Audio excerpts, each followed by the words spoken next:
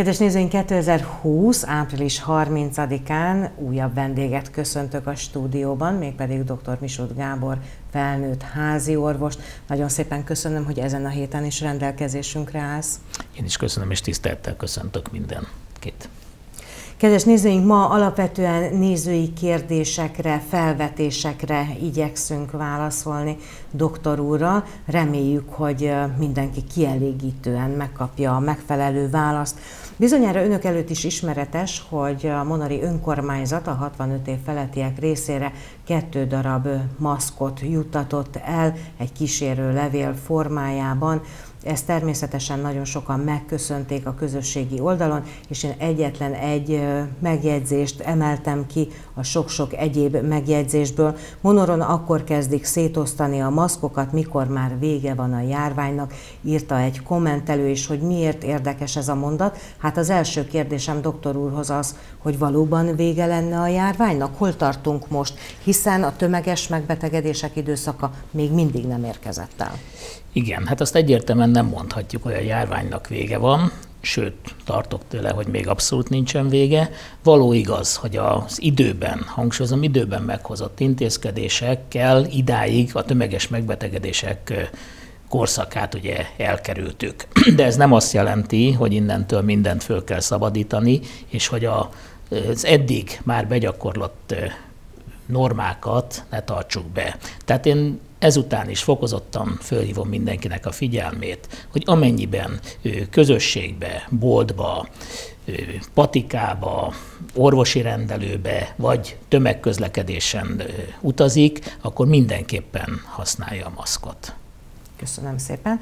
És természetesen ehhez a témához kapcsolódik szorosan egy másik megjegyzés, amikor az egyik monori lakos odaírt egy olyan típusú posztot, amiben, aminek az a lényege igazából, hogy azok a betegek, akik 65 év alattiak, de krónikus betegséggel küzdenek, ők is megérdemelték volna a maszkot. Gábor, mi történne akkor, és ezt hangsúlyozom, hogy feltételes módban mondom, tehát mi történne akkor, hogyha a Monori önkormányzat azt mondaná a Monori házi orvosoknak, a praxissal rendelkező házi orvosoknak, hogy szeretném azt megtudni, hogy hány krónikus beteg van Monoron, mert én nekik is szeretnék adni maszkot megtehetné ezt? Illetve ha nem, akkor mi mindenbe Hát számszakilag talán megtehetné, de személyre szabottan semmiképpen nem adhatunk ki semmilyen betegről információt. Tehát a krónikus betegségei, eleve a betegségei gyógyszerei, gyógyszerei az az orvosi titoknak a részét képezik. Tehát ezt mi nagyon komoly módon kell, hogy kezeljük ezeket az adatokat, és csak a hát bíróság egyéb szervek részére adhatunk ki információt. Tehát abszolút nem, nem tehetik meg azt, hogy akkor ők bekérnek bármilyen maximum nem is, nem is kérnek, nem is kérnek. Egy olyan jellegű statisztikát nyilván kérhetnek, hogy körülbelül mennyi a krónikus beteg, mennyi az ilyen beteg, olyan beteg, ami azért, meg hogy mondjam, az országos számadatokat, illetve százalékos adatokat fedez is, és ebből lehet következtetni, de én nem adhatok személyre szóló adatot ki senkiről, még az önkormányzat részére sem. Nagyon szépen köszönöm. Remélem, így akkor most már érthetővé vált az, hogy a krónikus betegek és a 65 év alattiak vajon miért nem kaptak maszkot. A múlt héten doktor úrral az allergiáról beszélgettünk, és akkor én megígértem, hogy meg fogjuk nézni, hogy az asztmásoknak tudunk-e vajon és milyen jó tanácsot adni. Nem gyógyítható, de jól kezelhető betegségről van szó, legalábbis ez olvasható a neten. Valóban így van? Na most pongyolán fogalmazva az asztma is egy allergiás megbetegedés.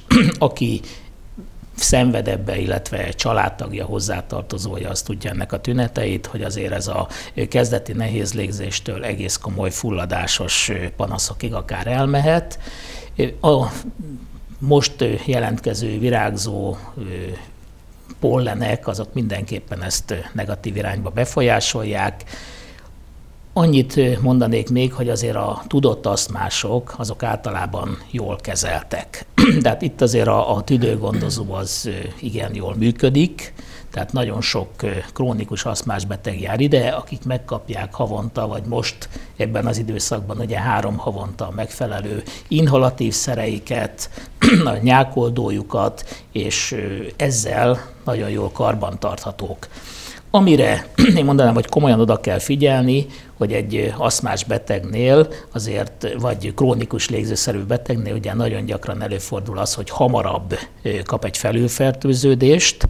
Itt megint ugye felmerül az, hogy sajnos az akut vírusfertőzéstől ezt el kell különítenünk, mert ez esetben vizsgálatot kell a, betegnek biztosítani, és hogyha egy ilyen felülfertőződés van, akkor ennek a megfelelő antibiotikum kezelése is javasolt. Amit még elmondanék, és múltkor is elmondtam, hogy mind a, a, az allergia elleni szerekkel az aszmás gyógyszerekre is vonatkozik az, hogy amennyiben a betegnek javaslata van, és ez a vészhelyzet kihirdetése után járt le, akkor ez automatikusan meghosszabbodik a vészhelyzet végétől számított 90 napig, tehát három hónapig. Tehát ha valamelyik beteg, akinek vissza kellett volna menni kontrollvizsgálatra, és pusztán csak annyi a problémája, hogy a gyógyszerei elfogynak, nyugodtan fordulhat a házi orvosához, mert a jelenlegi rendszer szerint ezek a gyógyszerek ugyanúgy a továbbiakban is rendelhetők.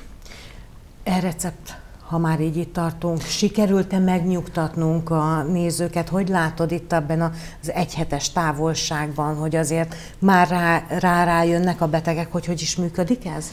Én úgy érzem, hogy azért szépen, szépen haladunk e tekintetben. Abszolút, akinek csak lehet ebben a formátumban juttatjuk el a megfelelő gyógyszerre vonatkozó felírást. Én úgy érzem, hogy ez kezd jól működni. Egy aggályom van, hogy Igen. amennyiben itt ez a járványhelyzet ugye lezajlik, hogy nagyon sokan rászoknak erre a formátumra, és kényelmi szempontból esetleg elfelejtenek a rendelésen megjelenni. Nyilvánvaló, hogy amennyiben túljutottunk itt a vészhelyzeten, erre is meg fogunk találni valami megoldást, hogy így is, tehát e-recept formában is, illetve bizonyos betegség esetén azért a megjelenés tekintetében is a beteggel találkozni tudjunk. Ha már a recepteknél járunk, akkor igaz, hogy nem volt időm tüzetesen végigolvasni az interneten egy megjelent cikket, de valóban segítséget kaptak azok, akik gyógyászati segédeszközöket kell, hogy igénybe vegyenek, és az ő számukra is ugyanígy meg lehet oldani e-recept formájában egyelőre a járvány ideje alatt? Hát segítséget kaptak, most megmondom őszintén, per pillanat az én gépemen még nincs az a program, ami föltenné ezeket is az úgymond felhőbe, de valószínűleg, hogy rövid időn belül az az informatikusok ezt korrigálni fogják. És akkor átérünk egy másik nagyon érdekes témára. Ugye a doktor úr is, és a többi házi orvos is a rendelési idejében, de szerintem azon kívül is ők fölveszik a telefonokat. Erről már sokat beszéltünk doktor úrral. Uh, igen ám, de van egy bizonyos időszak, amikor Monorváros önkormányzata egy megbízott cég által uh, ügyeletet biztosít, és akkor most tessenek jól figyelni 29-es körzet, 999 200. Ezen a számon biztosan elérhető az ügyelet, illetve a dr. Gombos Matild egészségházban, a Városi Sportcsarnok előtt lévő telken van ez az egészségház, ott van az ő székhelyük a földszinten. Az ügyelet mettől meddig tartott békeidőben, járványhelyzet idején, ebben van-e bármiféle fajta változás? Ügyeleti időszakban, úgy, hogy valószínűleg a rendeléseink többségében sincs változás a vészhelyzet miatt. Tehát az ügyeletről tudni kell, hogy minden nap 16 órától másnap reggel 8 óráig, illetve hétvégén és munkaszünet napokban pedig non-stopban 24 órában elérhető az ügyelet. Na most erre is jellemző, hogy főként ők is távkonzultáció kapcsán próbálnak segíteni a náluk jelentkezőknél. Amennyiben olyan probléma van, hogy a beteget kórházba kell juttatni, akkor ugyanúgy vagy az ügyeletet, vagy pedig a mentőszolgálatot lehet egyből értesíteni. Be lehet egyébként most így járványidőszakban menni az ügyeletre, és akkor itt nem feltétlenül csak a monori ügyeletről beszélünk. Van erre lehetőség? Hát gyakorlatilag igyekszünk minél kevesebb személyes találkozást a beteggel kapcsolatban létesíteni. Nyilvánvaló, hogy vannak olyan helyzetek, amikor ugye vagy nem tudja elérni, vagy hirtelen rosszul lét, vagy olyan jellegű panasz van, amiatt be kell menni, nyilván, hogy az ügyeleten akkor fogadják, illetve hát mi is háziorvosként fogadjuk az ilyen beteget is. De hangsúlyozom, amennyiben lehet, mereven ragaszkodnánk a távkonzultációval való ellátáshoz. De akkor már meg se kérdezem, hogy az ügyelet vajon kijön-e telefonhívásra. Hát elméletileg a, nyilván ott is kikérdezik a betegnek a panaszait, ott is mindenképpen eldöntendő, hogy, hogy aktuálisan a beteg az otthon kezelhető, vagy kórházba utalható. Nem tudom megmondani őszintén, de nyilvánvalóan minimális, minimális a, a személyes betegellátás, ugyanis általában az mindenkinek el lett magyarázva, hogy akkor forduljon a sürgősségi ellátáshoz, hogyha valószínű, hogy a beteget amúgy is kórházba kéne vinni. Tehát az ügyeletnek megvan a, a közvetlen kontaktusa a mentőszolgálattal, tehát nyilván ők is tudnak referálni, konzultálni egymással, és a megfelelő egységet fogják küldeni az adott beteghez. És akkor még egyszer a telefonszám, hogy biztosan föl tudják írni 29-es körzet, 999 200, ezen lehet ugye elérni az ügyeletet délután 4 órától reggel 8 óráig. Sürgőségi ellátás, ez alakult a normál fogászati rendelések ezzé alakultak át, hogy ilyen csúnyán fogalmazzam meg. Ha most valakinek, és ez nem a kedvenc témám egyébként a fogászati történet, ezt hozzá kell tennem, de ha mégis valami nagy-nagy fájdalom éri az embert, törik, reped, nem tudom én, akkor hova és mi, mi a dolgunk? Mit kell tennünk? Így van, ezt nagyon jól mondtad, hogy a törik, reped, ne Isten vérzik, légúti akadályt, elzáródást okoz, akkor sürgősségi ellátás az a Mária utcában van. De hangsúlyozom, hogy kifejezett sürgősségi ellátás. Tehát ha valakinek fáj a foga, bedagad esetleg, ez nem feltétlen minősül sürgősségi ellátásnak, tehát erre az otthon jó bevált fájdalomcsillapítót, egyebeket lehet megpróbálni első kézből.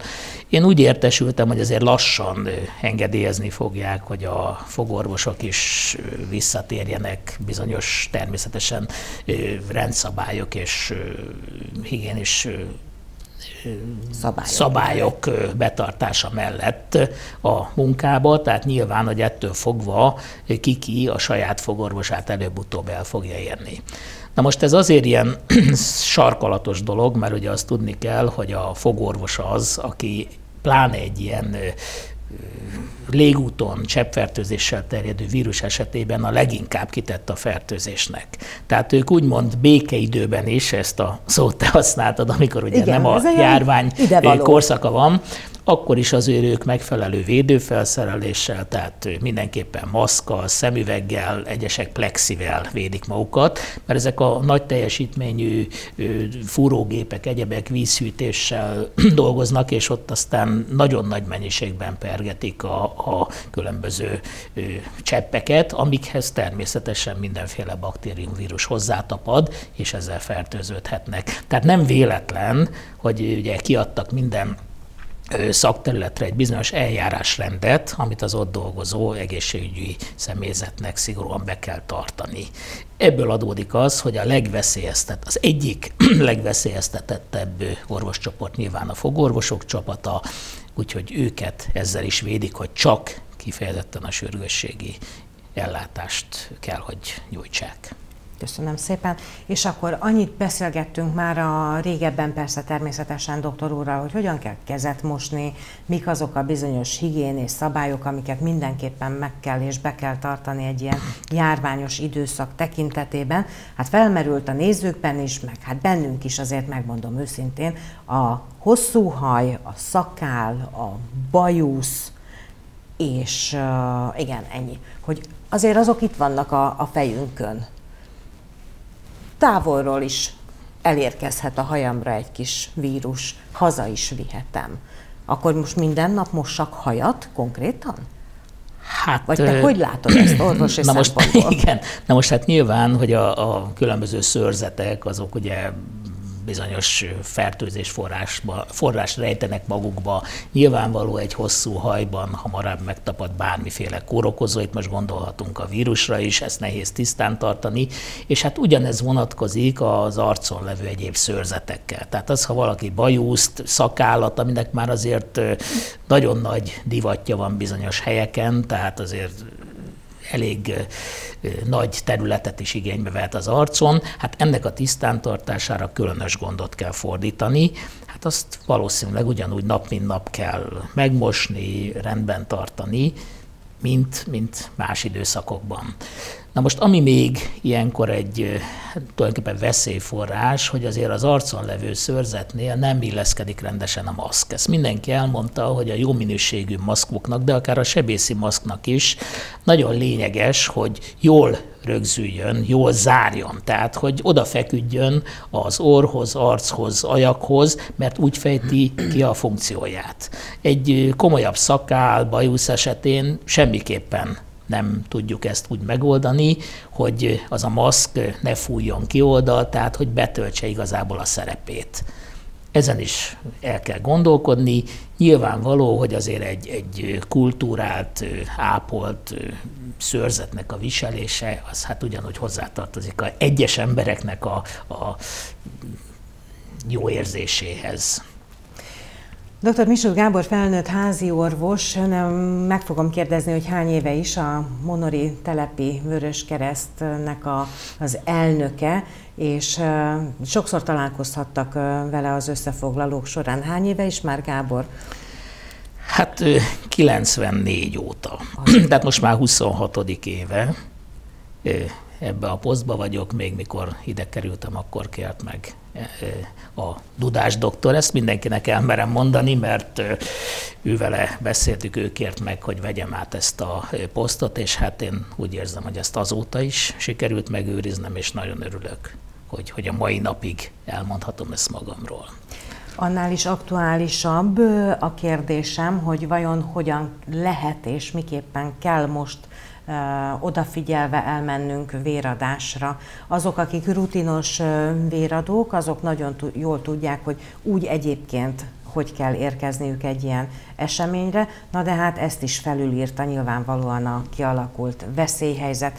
Mi az, ami megváltozott? Egyáltalán mire kell odafigyelni, amikor véradóként megjelenünk a véradás helyszínén? Hát sajnos, hogy ugye ez a veszélyhelyzet egy kicsit visszaszorította a véradás lehetőségét, mert számos olyan hely, ahol azért véradásokat rendeztek, a járványügyi előírások miatt nem alkalmas arra, hogy ezt ott lebonyolítsák. Tehát nyilván, hogy a nagyobb centrumokban, a nagyobb helységekben zajlanak most ezek a véradások.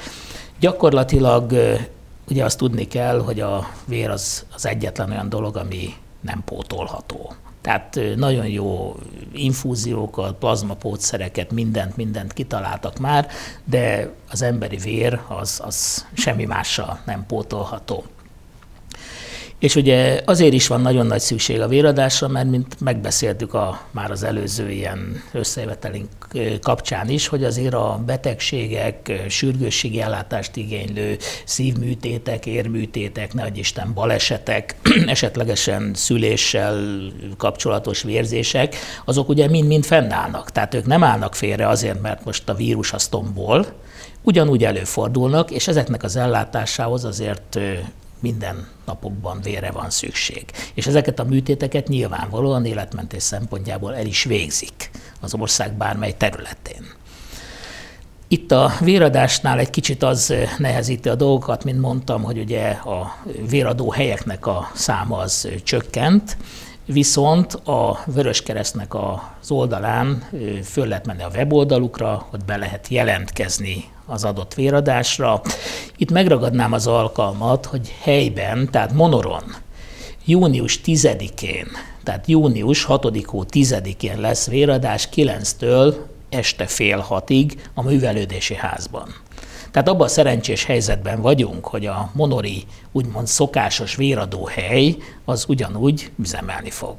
Nyilvánvaló, hogy itt is betartják az előírási szabályokat, tehát nyilván, amikor érkezik az adott véradó, mint mondtam, lehetőség szerint jelentkezzen be, és időpontra érkezzen, ugyanúgy lázmérést, fertőtlenítést fognak végezni, és nyilvánvaló, hogy biztosítják az egyes véradóknak az egymástól való távolságát a, a véradás ideje alatt.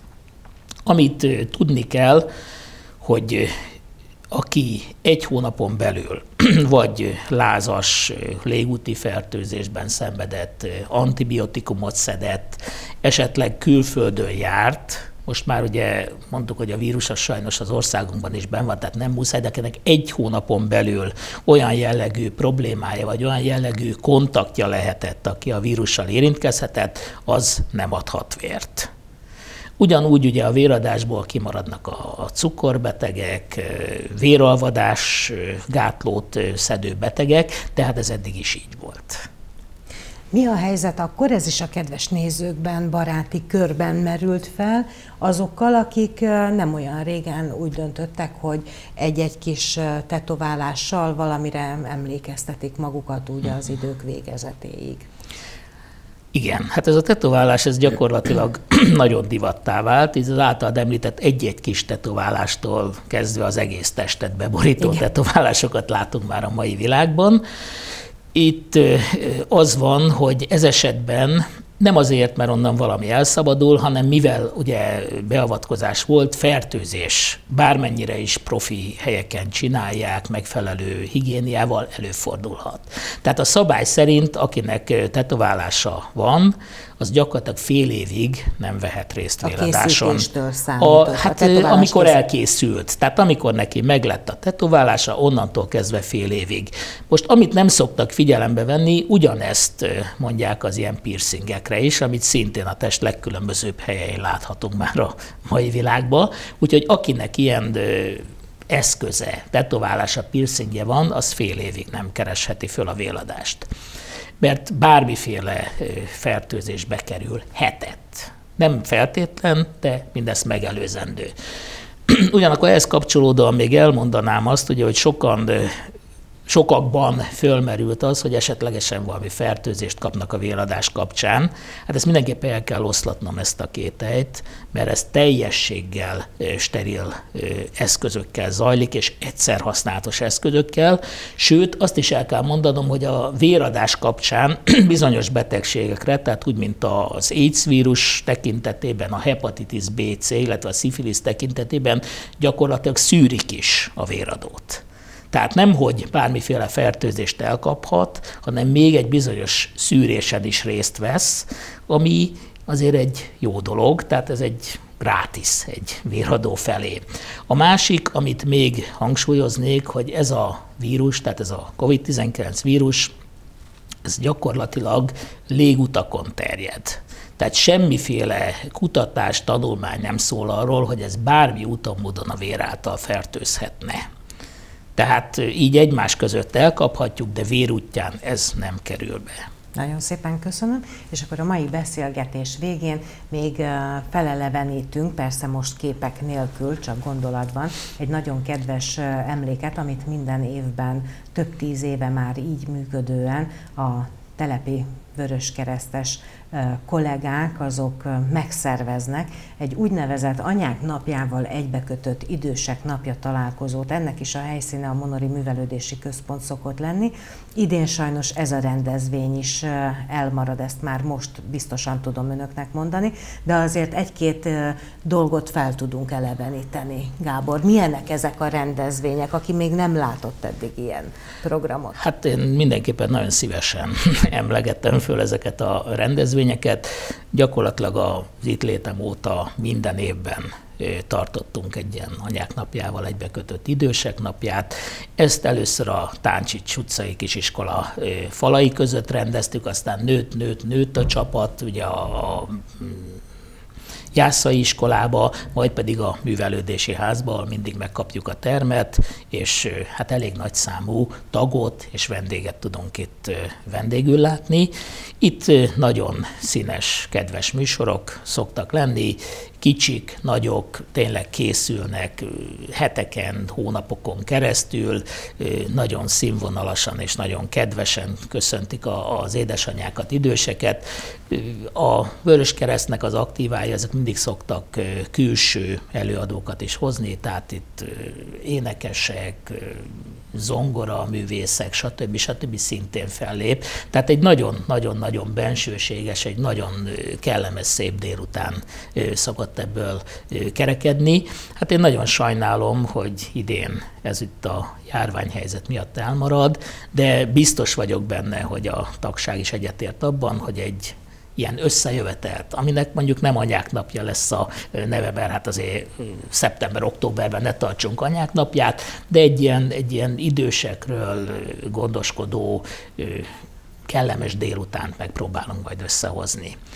És ha már ez szóba esett, akkor én innen, nem úgy, hogy ott szoktam a rendezvényen, hogy kiállva a tisztelt tagság és a megjelentek elé, hanem innen a tévén keresztül szeretnék szívből köszönteni minden édesanyát, nagymamát, dédmamát, mamát, mert én azért tudom, hogy ilyenek is vannak, valamint minden idős embert, és hát nagyon boldog anyák napját kívánok. Nagyon szépen köszönöm. Doktor úr, jövő héten találkozunk? Köszönöm, hát ha meghívtak, bízom benne. Akkor ez így lesz. Köszönöm szépen, Köszönöm hogy itt voltál. Kedves nézőink, dr. Misut Gáborral nagyon sok nézői kérdésre, felvetésre válaszoltunk. Ha önök eljuttatják hozzánk a kérdéseiket, témajavaslataikat, akkor mi jövő héten is így tesszük. Ha nem, akkor majd én össze fogom állítani a kérdéssoromat doktor úr felé. Köszönjük szépen a figyelmüket, szép estét kívánok Önöknek. Viszontlátásra legközelebb.